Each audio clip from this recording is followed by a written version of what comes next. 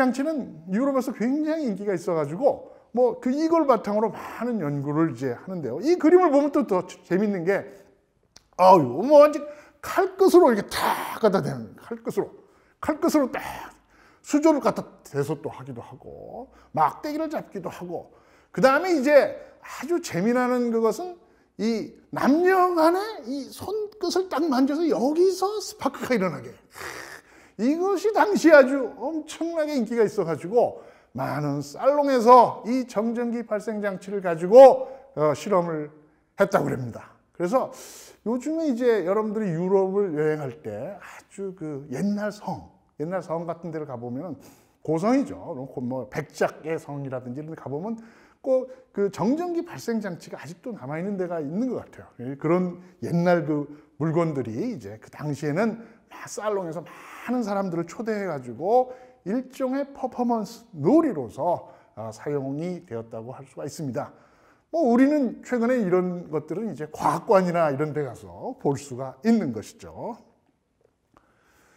자, 그러니까 이런 것들이 점점 발전을 하면서 정전기 현상에 대한 것이 체계화된 것이 이제 바로 레이덴 병이라고 하는 거죠. 레이덴. 그러니까 전기가 소위 예, 플러스도 있고 마이너스도 있고 뭐, 뭐 이런 두 가지 종류가 있다는 걸 알게 되고 그것을 또 그림으로 그린 게 이 그림 보면은 하나는 확산되는 탁 어떤 정전기 모습이 나타나고 하나는 수축되는 어떤 정전기 모습이 나타나는데 이런 걸로 사람들은 아 전기가 아마도 두 가지로 있지 않을까 아 이렇게 이제 생각을 했던 거죠. 자 그래서 이 전기의 이제 많은 현상들을 설명하기 위해서 소위 독일의 에발트 폰 클라이스트하고 레이덴의 피터 판 무셴브루크가 결국 레이덴병이라는 걸 발견해서 전기를 축적하고 그러니까 말하자면 콘덴서 같은 형태죠. 그것을 다시 또그 전기를 발산하게 해가지고 여러 가지 재미있는 실험을 하는 그런 실험 장치로 발전하게 됩니다. 예. 그러면서 이제 점점 이론적인 논쟁도 많아지죠. 전기라고 하는 것이 과연 두 가지냐, 한 가지냐. 지금 우리가 생각하면 플러스도 있고 마이너스도 있고 두 가지도 있고 뭐 한 가지 일유추설 둘다 어떻게 보면 둘다그 맞는 이야기일 수가 있는데 아주 벤자민 플랭클이라는 사람은 이제 아, 이 결국 전하가 두 개 있는 것처럼 보이지만 하나는 사실은 하나다. 뭐 이렇게 이제 하나가 많고 적음에 따라서 소위 예, 전기가 플러스도 뛰고 마이너스 뛰는 거다. 이런 주장을 이제 하게 됩니다.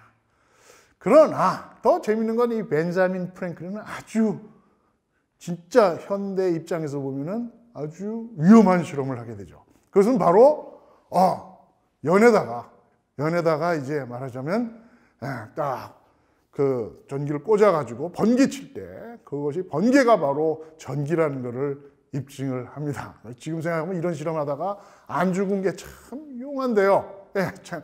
아, 이 실험을 함으로써 이제 결국 피뢰침의 필요성이 나타나게 되는 거죠. 예. 물론 당시에는 이 피뢰침 때문에 굉장히 많은 이야기도 있었고, 뭐 어떤 사람들은 피뢰침을 뾰족하게 하는 게 더 좋냐, 뭐 뭉툭하게 하는 게 좋냐 이거 갖고 논쟁했는데 결국 참 운 나쁘게도 이 뾰족한 쪽에 이제 그 말하자면은 어, 피뢰침이 오히려 더 안 좋고 뭉툭한 게 더 좋고 뭐 이런 아주 묻지 못할 일들이 예, 막 생겨갖고 한동안은 또 아주 혼란도 있었어요. 예. 자, 아무튼 이런 그 어, 피뢰침 이런 거는 당시 유럽의 계몽사족이 아주 큰 그 말하자면은 많은 그 영향을 줬는데요. 그러니까 즉 이제 계몽사조가 뭐냐면 바로 과학을 알아야 아는 과학을 알아야 말하자면 교양 있고 새로운 세계를 만들어 나갈 수 있다. 뭐 이런 거죠. 이러다 보니까 계몽 아, 아, 사조 시대 때는 아주 신사들도 아, 피레침에 대한 얘기를 듣고 아 여기 그림에서 보는 것처럼 어이구 이 바로 이 신사는 말하자면은 우산 위에다가 피레침을 꽂아가지고 다녀야 된다. 물론 이렇게 하면 아마도 제가 보기에는 번개 더 맞을 것 같은데. 아, 여성분들은, 여성분들은 차 패션에다가 모자에다가 말하자면은 전선을 꼽아서 그걸 또 밑에 땅에 접지가 되면은 말하자면은 이 땅 밑으로 전기가 들어가서 괜찮다. 그건 또 어떻게 알았나 봐요. 그래서 쭉 전선을 뒤로 빼가지고 이제 말하자면은 다니는 참 그 이 피레침이 이제 패션계까지 이제 말하자면은 영향을 주는 그런 시절이 있었다. 그 위에 보시는 그 사진도 이제 어, 똑같은 정전기 발생 장치를 놓고 수많은 사람이 모여서 아주 교양 있는 사람들이죠. 이 교양 있는 사람들이 모여가지고 나름대로 이제 그 진지하게 실험하는 모습을 볼 수가 있습니다. 당시에 계몽사조기 때는 과학은 하나의 그 생활과 어떤 문화의 한 부분이었다고 할 수가 있는 거죠. 예. 자, 그러면서 이제 전기 현상을 점점 점점 정량화한 사람들이 나타나는데 바로 그것은 이제 정교한 실험 장치 때문에 가능한 거였습니다. 자, 바로 꿀롱이라죠. 우리가 보통 꿀롱 하면 이제 전, 전 하전량의 단위인데 아, 이런 것을 이제 그 꿀롱이 이제 예, 말하자면은 전기에 대한 정량적 설명을 예, 성공하게 됩니다. 물론 꿀롱만 한 건 아니에요.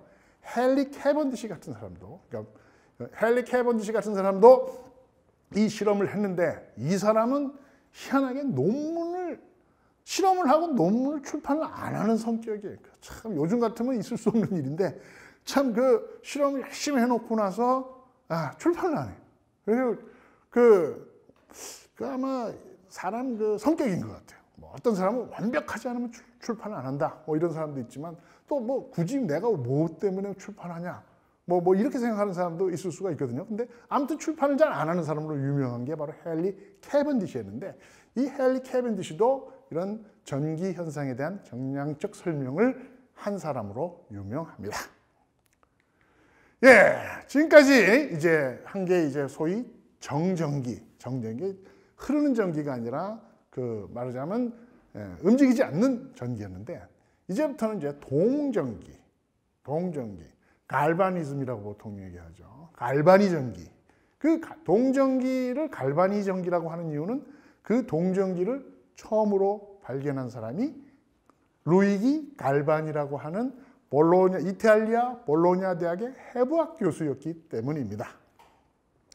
자, 이 사람은 해부 개구리를 해부하다가 소위 동물 전기를 발견했습니다. 이 그림을 보시면은 아마 여러분들이 아, 이 사람이 정전기 그 발생 장치도 썼고 그 다음에 이제 금속을 이용해서 개구리 뒷다리를 갖다가 이렇게 딱딱딱딱 아, 할 때 개구리가 움츠리는 거를 이제 예, 기록한 그림이에요. 아 이런 그림은 또 보면은 이 번개나 이런 거에서 나오는 전기하고 똑같다 하는 걸 보이기 위해서 예, 나오는 어떤 그런 실험도 했죠. 재미있는 것은 사실은 여기서 여기서 이 쇠와 구리가 접촉해서 전기가 만들어진 거고 사실 갈바니 그 깨구리 뒷다리는 그것이 사실 검출기역한만 한 건데 사실은 그러니까 전기가 동물에서 나온 건 아니죠. 그러나 갈바니는 이것을 갖다 이제 동물 전기라고 불렀어요. 물론 그렇다고 해서 갈바니가 전혀 그 이 전기 발생 원리를 몰랐느냐? 그거는 아닙니다. 알았지만 금속 을 붙여서 나오는 전기보다도 오히려 동물 전기에 더 관심이 있었어요. 그는 해부학 교수였기 때문입니다. 자, 이 동전기는 아주 이 생명과 관계가 있다. 이렇게 이제 생각을 하게 됐습니다. 당시에 갈바니의 조카인 조바니 알디니 이 사람은 배터리를 사용해서 동물 전기에 대한 많은 실험을 하는데요. 어유 여기서 이제 놀라운 거는 이 사람은 진짜 끔찍한 실험을 합니다.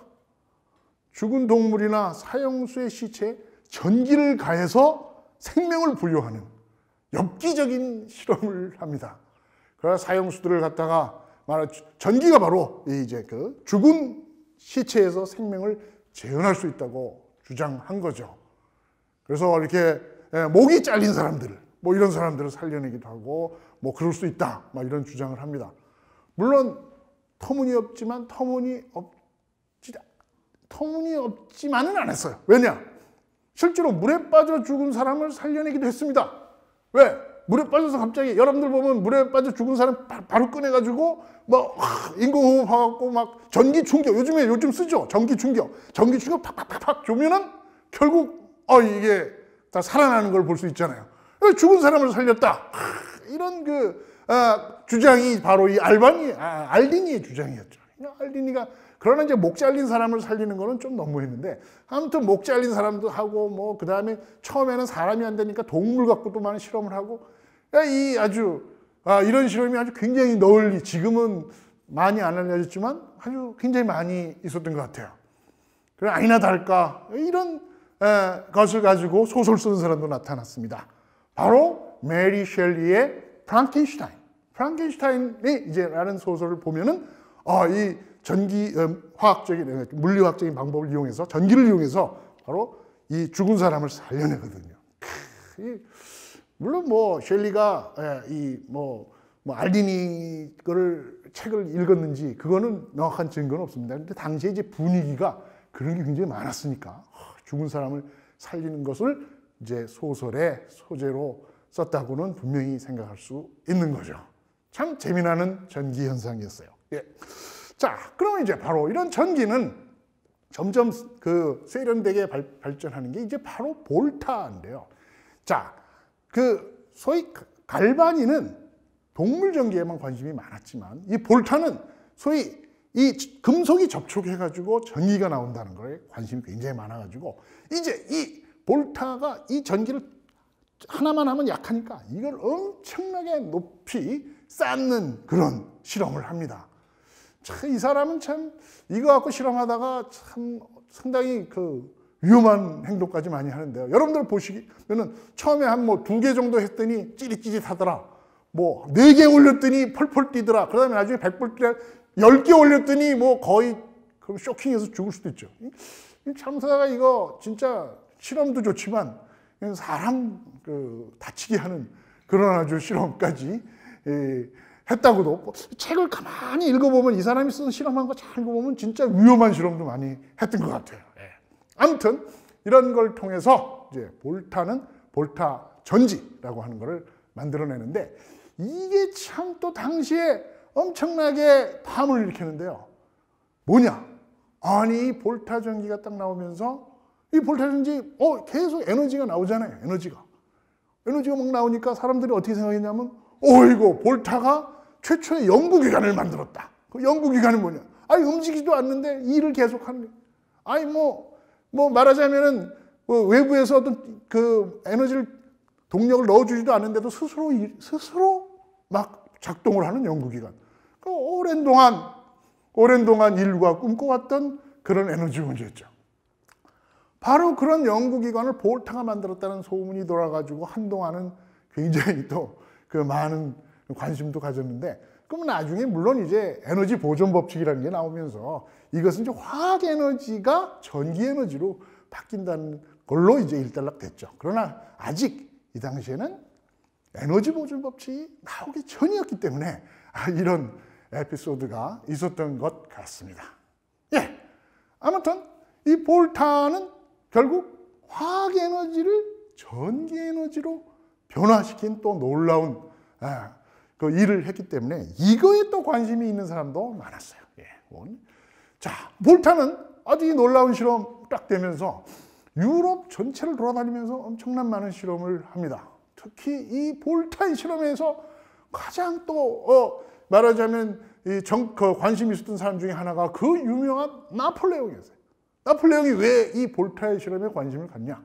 아니, 나폴레옹이 다 황제가 되면서 결국 이탈리아를 딱 이탈리아의 황제가 됩니다. 그래서 이탈리아 황제가 돼서 이탈리아 영토에서 가장 위대한 과학자를 메달을 수여함으로써 자신의 권위를 인정받으려고 했었죠. 어, 자기가 새로 정복한 나라에 아주 위대한 과학자가 있다 보니까 그 사람을 한번 불러서 내 앞에서 한번 시연을 해라. 그래서 결국 지금 여기 나오는 이 그림이 저 가운데 있는 양반이 바로 나폴레옹이에요. 나폴레옹. 나폴레옹 앞에서 딱 볼타가 볼타 전지를 시연하는 어떤 그런 모습입니다. 그러니까 그만큼 볼타의 전, 전지 실험은 대중적으로 아주 인기가 있었다는 걸 알 수가 있죠. 네. 예, 어, 이렇게 예, 당시에 보면은 영국이나 프랑스 뭐 이런 쪽 모든 곳에 이 과학 대중화 운동이 상당히 많이 있었다는 것을 알 수가 있어요. 영국에서는 이제 왕립 연구소에 그 과학 대중 험프리 데이비가 이제 그 중심이 돼 가지고 이제 그 많은 과학 대중화 사업을 했고 그 바로 밑에서 있던 조수로 있었던 그 마이클 패러데이도 바로 여기서 과학 대중화 운동을 통해서 발굴된 예, 과학자였습니다. 이 마이클 패러데이는 진짜 입지전적인 인물이죠. 가난한 대장장이 아들로 태어나 13세의 나이에 학업을 포기하고 서적 판매 및 재본공으로 생활을 영위했다. 그 재본을 하면 할 때 했던 그 책이 뭐였냐면 브리테니카 백과사전이었는데 그 브리테니카 백과사전에 나온 아주 전기에 관한 얘기가 쫙 있었는데 그 전기에 관한 얘기를 열심히 읽고 그러니까 말하자면 본인이 책을 만다 재본을 하면서 그 재본하는 거기서 그냥 재본만 한 게 아니라 거기 나오는 전기를 독학으로 배워서 결국에는 과학자가 된 아주 입지전적인 인물입니다. 아무튼 그렇게 해서 마이클 페러데이는 험브리 네이비의 눈에 들어왔고 그와 함께 아, 이탈리아도 또 여행을 하고 왜냐하면 이탈리아를 당시에 많은 사람들이 여행한 이유는 볼타라고 하는 인물을 볼타에게 한 수 배우려고 한 게 당시의 그 모습이었어요. 예. 물론 그 당시에 갔던 사람은 괴테도 이탈리아를 기행하면서 새로운 문물을 많이 알려고 했습니다. 자, 어, 뭐 험프리 데이비는 바로 나트륨과 칼륨, sodium과 포타슘을 발견한 사람인데요. 이것도 바로 볼타 전기를 에 관심을 가지면서 나온 겁니다. 마이클 페라데도 마찬가지죠. 여기서 상당히 많은 일을 하게 됩니다. 자, 당시에 놀라운 거는 이런 그 이 볼타의 전기는 당시 독일의 철학과도 관계가 있는데요. 당시에 독일의 자연 철학주의라고 하는 게 있었어요. 이 아주 뭐 당시 좀 뭐 상당히 이 물질과 정신이 단일한 실체다. 뭐 이런 주장도 했고 자연의 자연은 눈에 보이는 영임 자연은 눈에 보이는 영이며 영은 눈에 보이지 않는 자연이다. 좀 난해한 주장 같기도 하고. 참 이러면서 자연에는 어떤 통일된 힘이 있다. 이런 주장을 합니다.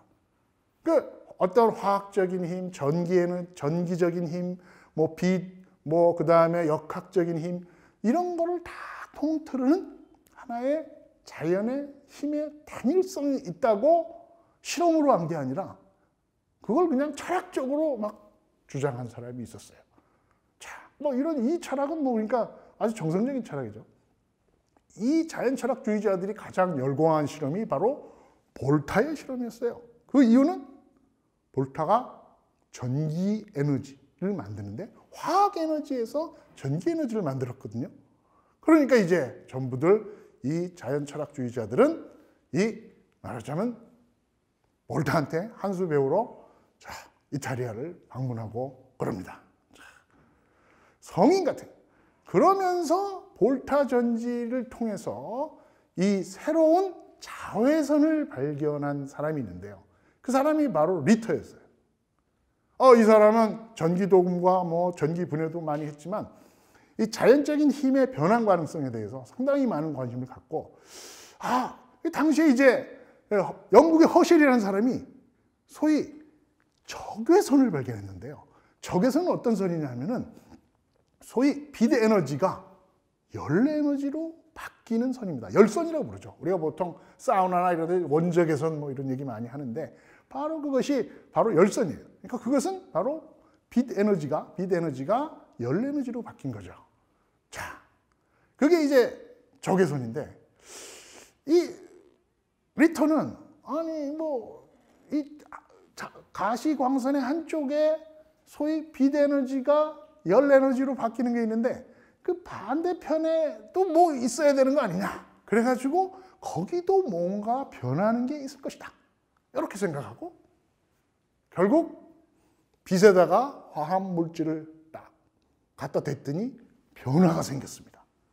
그게 이제 뭐냐? 여러분들 알면 사진의 역사가 시작되는 거예요. 자외선. 자외선이 자외선이 발견됩니다. 자외선이라는 건 뭐예요? 화학 화학적 성질을 나타내는 화학적 성- 성질에 영향을 미치는 빛이죠.